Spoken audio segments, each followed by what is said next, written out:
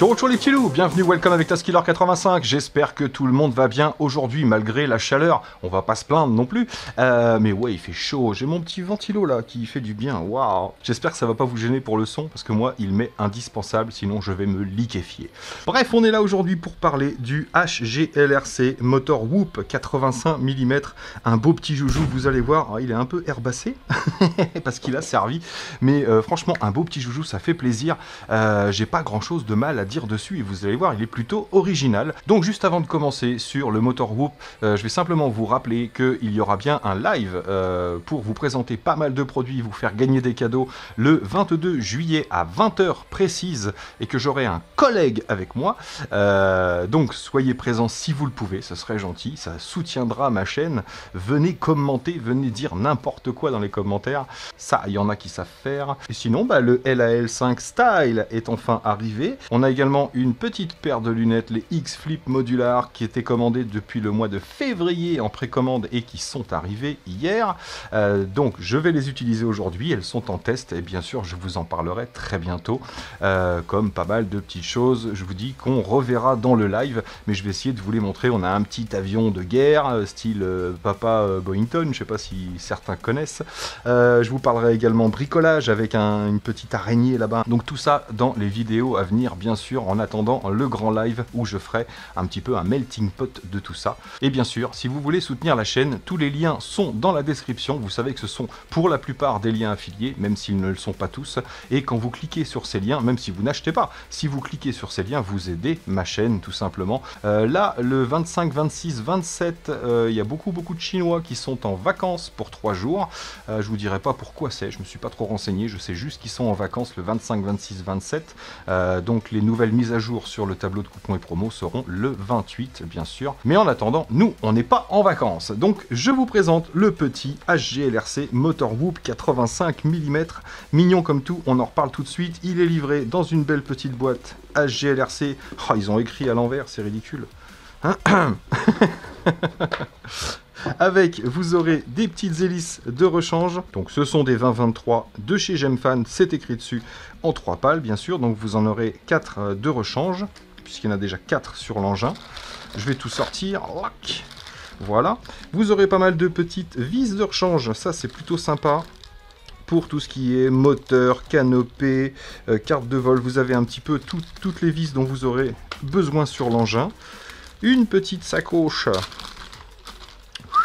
dans laquelle on va trouver, hop là, donc vous aurez deux sangles de chez hglrc.com, deux mini sangles comme celle-ci, en cuir, enfin en simili-cuir, non, je pense que c'est du cuir, donc vous en aurez deux, il y en a déjà une d'installée, moi, sur le mien. Vous aurez des petits autocollants, des petits stickers Motor Whoop 85, les mêmes que ceux qui sont installés déjà sur la frame, qui meublent bien, il a une bonne petite tronche, je trouve, des autocollants HGLRC, une petite notice en fonction du récepteur que vous aurez choisi, moi, en l'occurrence, c'est un FR Sky XM+, et une petite notice rapide euh, pour vous parler des branchements. Donc ça, euh, vous trouverez ça bien sûr dans, le, dans la boîte, mais si vous allez sur le site HGLRC, il y a euh, le manuel d'utilisation de l'engin. Donc vous avez tout, euh, de la préparation au réglage Betaflight, comment le binder, vérifier les moteurs. Vous trouvez absolument tout sur cette petite notice, bien plus complète que celle-ci. Là, ça vous montre simplement les caractéristiques du VTX et les branchements. Donc ça, c'est un petit peu un pense-bête, j'ai envie de dire. Mais le gros avantage chez HGLRC, comme d'autres, c'est qu'on retrouve toutes les indications sur le site de chaque produit et, euh, et ça c'est plutôt sympa. Et le super tournevis à mettre dans la boîte à outils. Donc je range tout ça et je vous parle tout de suite du petit motor Whoop. Donc le voici, le voilà. On a un châssis de 85 mm de moteur à moteur, une taille totale de 116 mm. C'est un carré, donc 116 sur 116. On va tout de suite le peser. Hop, et l'engin vierge fait 82 grammes. Si on lui rajoute une batterie 2S, celle que je vais vous recommander, je vous en parle bientôt, on sera à 116 grammes. Et avec une batterie 3S, comme celle-ci par exemple, c'est une 520 mAh, on est à 125 grammes. Donc pas un engin euh, extrêmement lourd.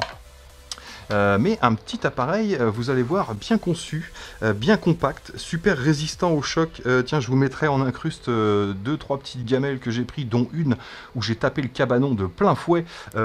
beaucoup, beaucoup d'engins auraient eu des dommages, c'est clair, sur ce genre de choc, et celui-là n'a rien eu.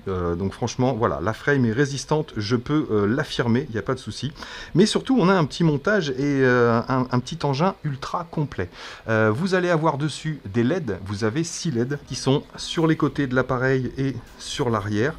Et on a une LED au-dessus et une LED en dessous. Donc fini le truc de on voit les LED que quand il est en train de voler. Là vous les verrez dans tous les sens, donc ça peut être sympa pour ceux qui débutent dans le vol à vue, ça permet de se repérer un petit peu. Et les LED sont programmables. Donc là elles sont programmées pour euh, clignoter en mode Larsen scanner mais vous allez pouvoir les reprogrammer. Si vous voulez, vous pouvez même indiquer les directions sur les LED, vous savez, dans, Betaflight. Donc là, on aura 6 euh, petites LED directement sur ce petit châssis carbone euh, qui est pas trop mal étudié. Euh, au départ, ça me faisait un petit peu peur parce que je vous parle des composants électroniques juste après, mais cette petite frame carbone, en fait, renferme le branchement des moteurs. Donc on a M1, M2, M3, M4 qui est indiqué. Pareil, les LED, pour les retrouver, on a des petits numéros, donc 1, 2, 3, 4, 5 et 6 pour pouvoir les retrouver sur Betaflight, elles seront notées 0, 1, 2, 3, 4, 5. Donc la 0 correspond à la 1 et la 5 correspond à la 6. Donc vous pourrez même les euh, bouger de place. On a également sur cette petite frame carbone un buzzer. Donc petit buzzer qui va vous permettre non seulement de le retrouver, mais qui est aussi équipé euh, d'un bip batterie faible. Ça veut dire que même si vous faites tomber votre appareil et que euh, vous perdez un peu le contact ou vous avez perdu le retour vidéo, et même si vous éteignez la radio, le buzzer va parce qu'on sera en batterie faible, donc vous pourrez retrouver votre engin. Donc ça, c'est plutôt intéressant. Donc c'est pour ça que je vous dis qu'il est vraiment bien équipé. On a les LED, on a le buzzer, et on a une petite frame bien résistante. Comme je vous disais au départ, moi j'avais un peu peur. Tiens, je vais retirer, un peu la sangle pour que vous voyez. On a un petit support TPU ici assez costaud, bien épais, pour pouvoir euh, mettre la sangle et ça fait en même temps antidérapant quand vous mettez la batterie. Et j'avais un peu peur, moi, des moteurs, des, branchements moteurs qui sont euh, exposés un petit peu sur les côtés. Mais vu qu'on a la batterie qui vient ici, bah, les moteurs seront rarement touchés. Euh, ce sera beaucoup plus difficile de venir taper dedans. Et bien plus pratique si vous avez un moteur à changer. Puisque là, comme vous le voyez, vous avez juste un moteur à dévisser, à débrancher et rien à démonter du tout. Donc ça, je trouve ça plutôt intelligent. Sur le dessus, on a une grosse canopée en TPU, donc c'est bien épais. Donc là, c'est pareil, on va bien protéger les éléments. La petite antenne donc, qui est branchée en IPEX, donc là c'est pareil, moi j'ai mis un petit peu de colle jaune sur la prise IPEX, mais la petite antenne est bien prise dans le TPU, donc très difficile de l'arracher ou de la faire bouger, ou alors il va falloir arracher tout le TPU qui est fixé par deux 4 6 vis, donc ça tient plutôt bien. On voit également que la caméra qui est une Runcam de Nano est bien prise dans le TPU et vous avez une orientation de 0 à 45 degrés, donc vous allez pouvoir vraiment mettre en mode débutant ou 45 degrés euh, qui est largement suffisant pour ce type d'engin. On pourra quand même atteindre de belles vitesses. Euh, il accepte le 2 et le 3S, donc euh, vous allez voir, euh, on peut voler tranquillement en 2S, en indoor, j'ai envie de dire, dans la maison, même à l'extérieur, mais on peut voler tranquillement en 2S, et dès qu'on met une petite 3S, donc entre 450 et 650 mAh, non, que dis-je entre 450 et 550 mAh. Moi, je vais utiliser la Tattoo 550 mAh pour le 3S. Je vais utiliser une 2S 550 mAh pour l'indoor. Et sinon, j'ai une petite 3S ici, TBS Graphene en LIHV. Donc c'est une 520 mAh, mais en LIHV, donc un peu plus de puissance, mais à peu près le même poids que la 550 mAh.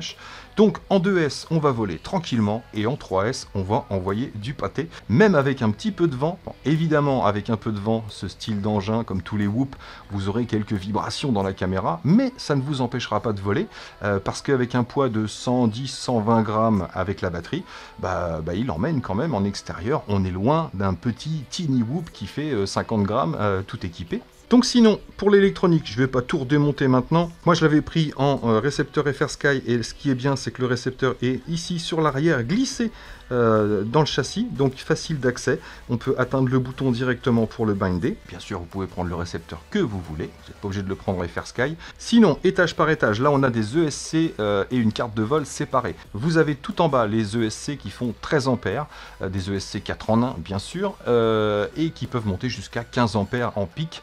euh, pendant 4-5 secondes environ. Pour la carte de vol, c'est une petite F411, mais celle-ci, elle est tout en haut, vous voyez, sur le côté. On va voir ici la prise micro USB. On voit que euh, la carte de vol est tout en haut. On voit même le bouton de boot juste en dessous la prise micro USB. Et entre les deux, entre les ESC et la carte de vol, on va trouver un petit euh, VTX qui fonctionne plutôt bien ma foi. Vous allez avoir le pit 25, 100, 200 et 400 mW, que je dise pas de bêtises. C'est bien ça, du pit mode à 400 mW. On a également un petit bouton qu'on peut apercevoir ici, donc avec un petit engin fin si vous voulez tripoter au bouton. Mais celui-ci est bien e-shine. Euh, celui-ci est bien relié euh, au Smart Audio. Non, il n'est pas en Smart Audio, il est en IRC Tramp. Ça, de toute façon, vous le verrez dans mon Betaflight que je mettrai dans l'outro comme d'habitude. Je n'ai pas changé, euh, j'ai juste mis un, rate profil 2, enfin un autre rate profil pour avoir un peu plus de, réactivité. Mais là, aujourd'hui, je vais le tester avec toute la configuration d'origine, que ce soit les PIDs et les, ou les rates. Je ne vais rien toucher. J'ai testé, il n'y a pas de surchauffe moteur, il se comporte plutôt bien, euh, que ce soit en 2S et en 3S. Donc même s'il y aura peut-être besoin d'un affinage pour les plus exigeants, on va dire, euh, en attendant, moi je l'ai trouvé plutôt bien. J'avais une petite brise à l'extérieur, mais en intérieur il se comportait bien, et en extérieur, même si j'avais quelques petites vibrations, euh, pour moi ça, venait plus du vent qu'autre chose. Aujourd'hui on n'a pas trop de vent. Donc on va se faire un petit test en indoor en 2S, et s'il si, ne se met pas à neiger, il y a très peu de chance, on ira faire un tour au petit parc, puisque ça suffit largement pour tester ce, style d'engin. Donc voilà, euh, bien équipé le petit bébé. Là, on a euh, les petits tubes d'antenne qui vont bien. Donc un petit engin bien équipé, comme vous le voyez. On a un petit support TPU pour fixer les tubes d'antenne. Donc on peut mettre plus long parce que euh, les, les, câbles d'antenne du petit XM sont beaucoup plus longs que ça. On voit qu'ils sont un petit peu hop, emberlificotés ici ils sont tournés donc on n'a pas toute la longueur. Donc euh, bon bah moi pour l'instant ça fonctionne bien comme ça. Mais c'est vrai qu'on pourrait mettre des tubes un petit peu plus longs. Ça rajoute pas énormément de poids euh, pour augmenter la portée bien sûr. On verra s'il y a besoin. On testera ça au petit parc. Pour l'instant en pilotant d'ici j'ai réussi à faire le tour de la maison même à aller faire un petit tour chez la voisine là-bas vous savez où il y a un beau palmier euh, sans perdre la connexion. Donc pour moi ça doit fonctionner plutôt pas mal. Le RSSI reste bon et la vidéo est bonne aussi. Les moteurs je vous en ai pas parlé ce sont des moteurs HGLRC FD1103 en 8000 kV. Donc mis à part ça, voilà, on a fait le tour de l'engin. Euh, moi j'aime bien, j'aime bien le style, j'aime bien euh, la résistance parce que je vous dis j'ai testé malgré moi. Et, euh, et pour moi c'est un petit engin vraiment bien protégé. La Runcam Nano 2 fonctionne plutôt bien, on a un bon fauve, on a une bonne luminosité, c'est pas the best of the camera, on en verra des nouvelles très bientôt en 1500 TVL de chez eShine et ouais ils se rattrapent, ils savent qu'ils ont fait des conneries avec le LAL3. Alors ils se rattrapent maintenant, ils font des trucs bien. J'espère que le LAL5 Style n'aura pas de défaut. Bref, on va tout de suite mettre une petite batterie. Euh, vol à vue, on se le fera euh, bien sûr au petit parc. Là, je m'équipe en FPV. Je vais tester mes nouvelles euh, petites X-Flip modulaires que je vais relier à mon petit docking ici. Et on va se faire un petit tour à l'intérieur. Let's go Allez, c'est parti les amis, bon vol. Donc je suis avec les X-Flip modulaires sur la tête. Donc je suis en OLED et c'est magnifique. L'écran est superbe, ça c'est clair. Donc là on est parti en 2S, on s'en fiche des X-Flip pour l'instant, je vous en parlerai plus tard. vous voyez la résolution de la caméra, donc bien sûr hein, vous le savez c'est la résolution du DVR, c'est pas la résolution de ce qu'on a dans les lunettes. Donc là je suis en 2S, j'y vais tranquillou pilou. Comme vous le voyez, j'ai très très peu d'angle, je suis presque à plat au niveau du tilt de la caméra et je peux vraiment y aller tout doux. Il est hyper précis. On règle sa hauteur assez facilement. Tac, là on est en stabilisé. Ah oui, tiens, je vous montre le petit avion dont je vous parlais. Regardez, bientôt on va faire de l'avion de guerre. Un petit pack RTF Alors ça, c'est fun. Et je le ferai certainement gagner. Alors, c'est une exclue, ça, j'aurais pas dû vous le dire. Allez, j'y vais en douceur. Hop là Sans toucher, hein, la classe. Allez, on va pousser un peu plus. Là, je suis en vitesse 1 sur ma radio. Voilà. Mode de vol rapide. Donc là, je suis en vitesse 3. C'est un petit peu plus nerveux. Mais vraiment précis, ce petit motor whoop. Moi, j'aime beaucoup. Allez, petite cascade, on stabilise. Mais franchement, il est pas à ça près. Hein. Je vous ai dit... Euh, vous avez vu la gamelle. Alors là, je sais pas où je vais, mais je passe pas là. Si, là, je passe en dessous. Hop.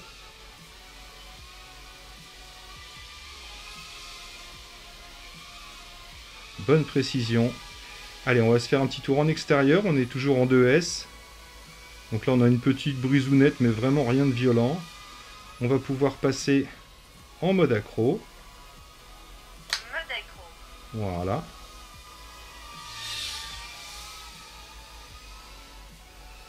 Et là, je suis en 25 mW. Donc je vais me poser. Et je vais augmenter un petit peu le VTX. Parce que là, en faisant le tour de la maison, 25 mW, c'est toujours un peu court. Tac. Donc feature. Et on va aller mettre 100 mW. Déjà, ça devrait suffire.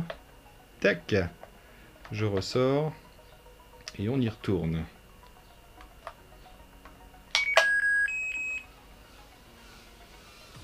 Allez, on est reparti. Ah oui, je suis en mon macro. Oui, j'ai rangé mes gates, hein, ça y est. C'est plus facile pour passer la tondeuse.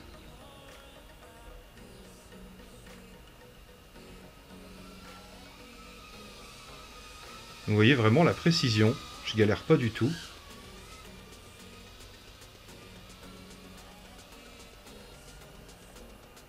Même en 2S, on va pouvoir faire des, petites acrobaties, un peu de freestyle.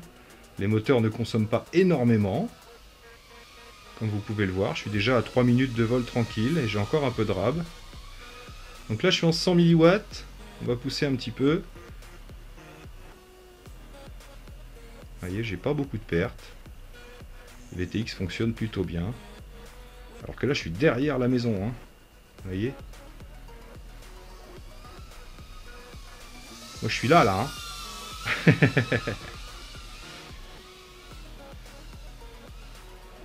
Donc même en 2S, on a une bonne petite reprise quand même. Il y a moyen de s'amuser. Ah non, hein, ça suffit le cabanon. Hein. Une fois déjà.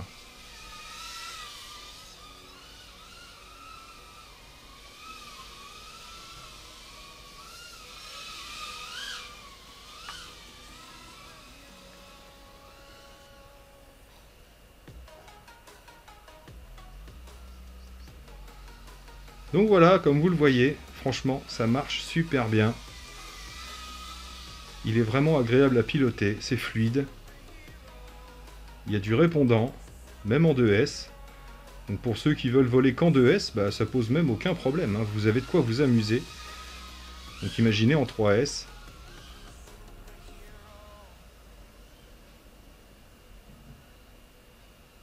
Je suis pas à l'aise dans ce sens-là. Vous le savez. Hein. Allez, on va rentrer. Même si j'ai encore un peu de rab. Allez, on va finir la batterie en 2S quand même.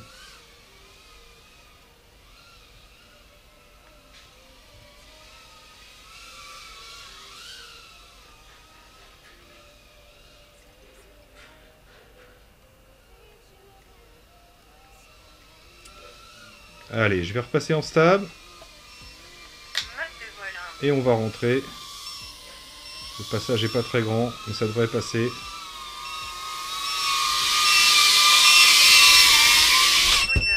Yes donc c'est parti les amis pour un petit test en vol à vue. On est bien sûr au petit parc. Cette fois-ci on a changé de coin, je me suis mis un peu à l'ombre.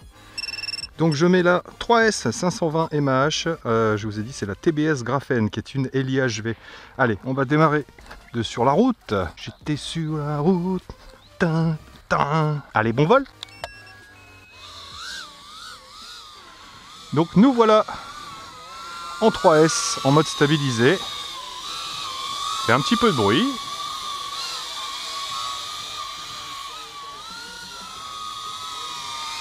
Il a vraiment l'air très très sain. Vous voyez les petites LED Donc là c'est en Larsen vert. Et on les a également en dessous. Donc c'est parti pour un petit test de punch en 3S. Dans 3, 2, 1. Marche bien pour un petit whoop, hein Puis pas beaucoup de...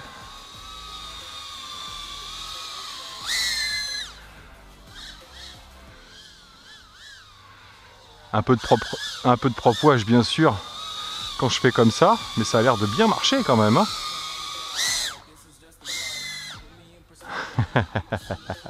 Il a du répondant le ptio.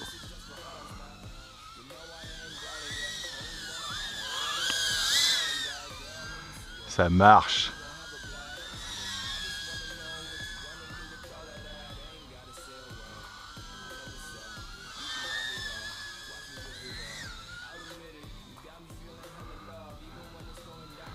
Bon, bah voilà pour ce petit test en vol à vue. C'était plutôt convaincant. On va se faire un peu d'accro vite fait. Mode accro. Vous voyez, j'ai pas mis des rates énormes. Là, je suis à fond sur le roll. Et ça suffit pour faire des petites figures.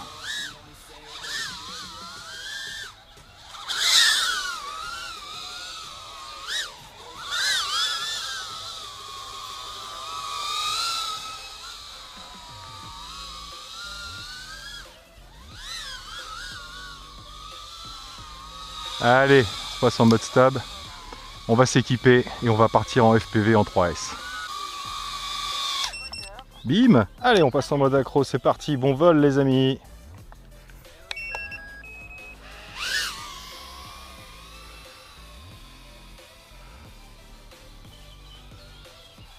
Pas mal cette petite caméra. Hein. Donc là j'ai une petite brise, j'ai un petit souffle. Rien de violent,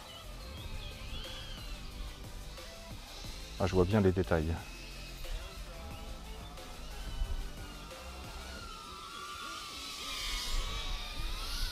Donc là, mon, antenne, est dirigée dans l'autre sens. Donc là, ça va être l'antenne euh, champignon, là qui capte ici. Donc en 100 mW, ça va, ça reste propre. Ce sera certainement plus net si je vais par là. Pas de souci pour se faire un peu de freestyle avec ce petit whoop. Là j'ai rajouté un peu de tilt à la caméra bien sûr. Vous savez qu'un whoop ça redescend plus vite hein, qu'un racer 5 pouces. Suivez le petit chemin, il n'y a personne. Le petit cours d'eau qui va bien. De ne pas tomber dedans. Ah, ça marche proprement. Hein. Il est vachement agréable à piloter. Hein.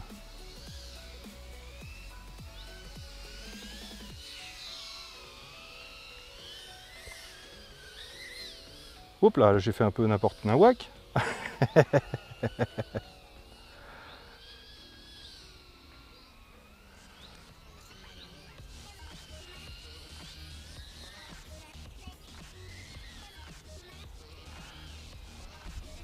pourquoi je mets des coups dans l'IO. C'est du grand n'importe quoi. Hop là ah, Je vois bien, je vois bien bien bien les détails. Je sais pas ce qu'on verra sur le DVR, mais en tout cas moi c'est propre de chez propre là. Ah ouais, j'ai des bonnes petites rafales de vent. C'est pour ça. C'est pour ça que j'ai des petites euh, perturbations. Petite touchette. Même pas peur. Donc là j'ai mis en 100 mW pour me rassurer. Ça passe plutôt bien. Mon RSSI, no problemo. J'ai un peu de perte ici, là. Je suis loin derrière quand même. Yes. Ouais, bien cette petite Nano 2. Hein. Petite Runcam Nano 2, franchement, plutôt propre. On va prendre un peu d'altitude, tranquillement panoramique de, Chaland. Ah, sympa.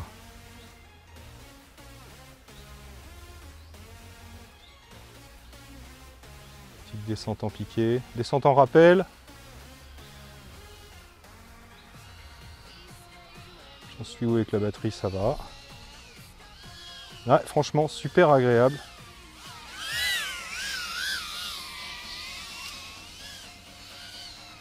Il vraiment de quoi s'amuser en 3S. Hein. Déjà en 2S ça marche pas trop mal. Mais là en 3S ça envoie plutôt bien. Donc je sais pas s'il y aura des réglages à faire au niveau des PIDs. Moi pour mon niveau ça me va largement. Les pit stock.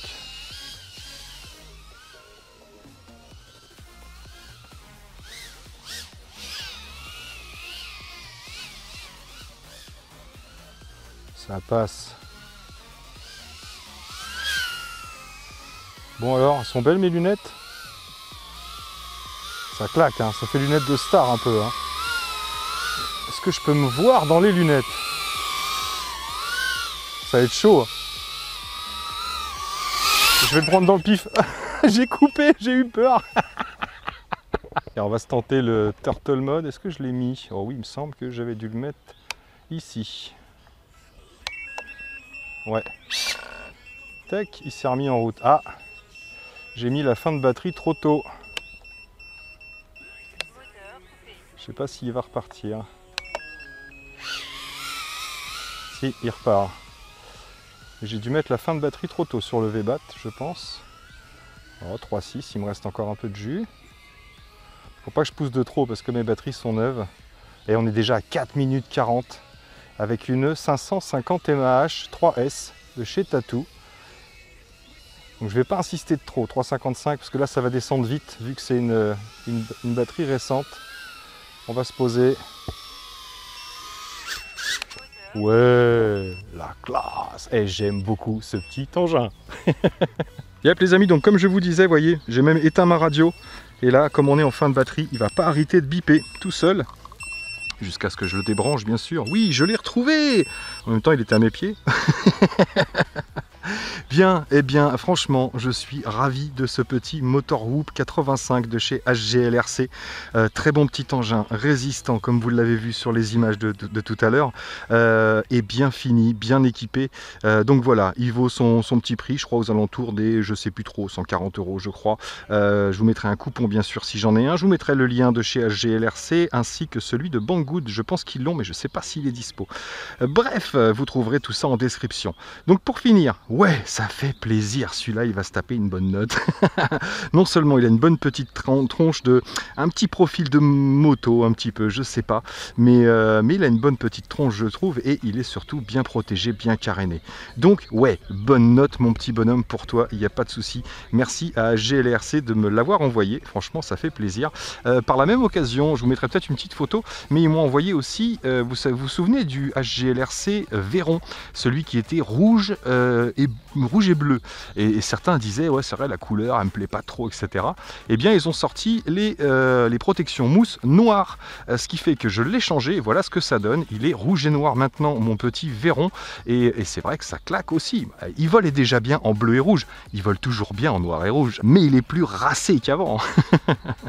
Donc voilà les amis, merci à vous d'avoir suivi, merci surtout encore à vous d'être là. Et là, pour ceux qui sont restés jusque-là, eh bien oui, c'est le tirage au sort pour savoir qui a remporté le petit traducteur à 250 euros. Donc restez connectés, on va tout de suite faire le tirage au sort. Yep les amis, on se retrouve devant Comment Picker, le tirage au sort pour YouTube.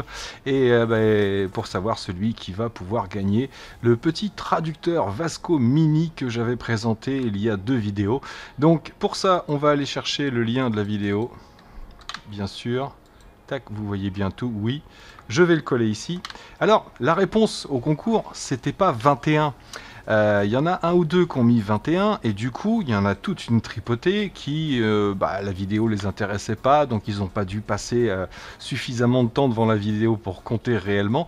Donc j'ai eu énormément de 21 et très très peu de 24 car il y en avait 24 en comptant les trois qui sont dans l'outro plus le premier qui apparaît quand je parle de Vasco celui qui vient se coller ici qui est juste avant que j'explique le concours.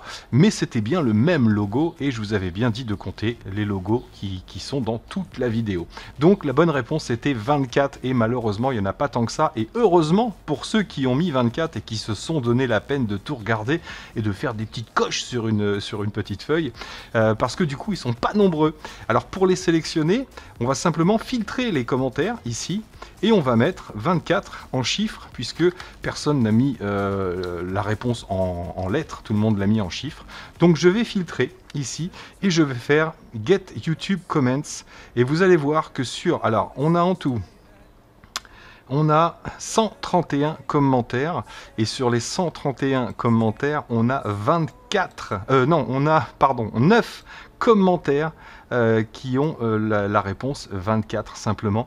Donc vous avez une chance sur 9 de remporter un traducteur mini Vasco 2 euh, d'une valeur de 250 euros. C'est plutôt sympa.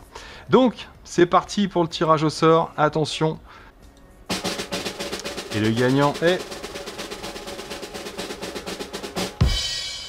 Winner, Prometheus 0985. Hello Montaz, après avoir, dis donc c'est quoi ces familiarités là euh, Après avoir regardé attentivement, ah bah oui je me doute pour avoir trouvé la bonne réponse, je dirais 24 à bientôt. Et eh ben écoute, à très bientôt parce qu'il va falloir qu'on se parle tous les deux, il va me falloir tes coordonnées que tu m'enverras en privé bien sûr parce que Prometheus 0985, tu as gagné le traducteur Mini Vasco 2, ça me fait plaisir et j'espère que tu en auras utilité. Au pire des cas, tu pourras le revendre et euh, ça te fera un petit peu de sous pour acheter du matos si tu as besoin. Donc voilà les amis, je vous laisse là-dessus. Euh, félicitations à tous ceux qui avaient trouvé 24 la bonne réponse. Vous le savez, dans mes vidéos, c'est pas des cadeaux donnés comme ça. faut se donner un petit peu de mal généralement, sinon c'est trop simple. Allez, à bientôt dans mes vidéos. Ciao ciao